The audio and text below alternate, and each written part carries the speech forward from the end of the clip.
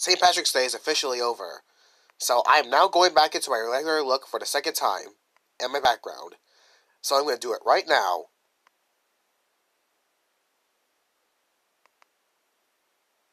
Alright, I'm now back into my regular look.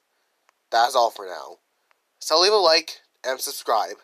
This is me, Iceway1925, signing off.